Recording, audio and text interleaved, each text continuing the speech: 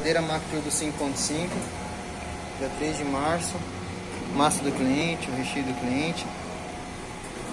Produção de bolinha de presunto e queijo.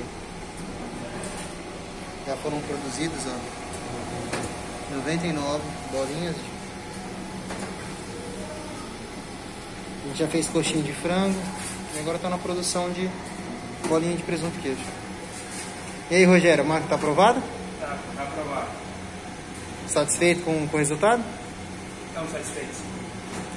Você acha muito importante a presença de um técnico para poder estar tá te instruindo, mostrando como é que é o funcionamento da máquina? Tem que ver, né? É fundamental para começar bem certinho mesmo, operar. Sem estar presente. É difícil operar, só com videoconferência é complicado. Presencial é melhor. Muito obrigado pela aquisição, tá? Salgadeira máquina do 5.5.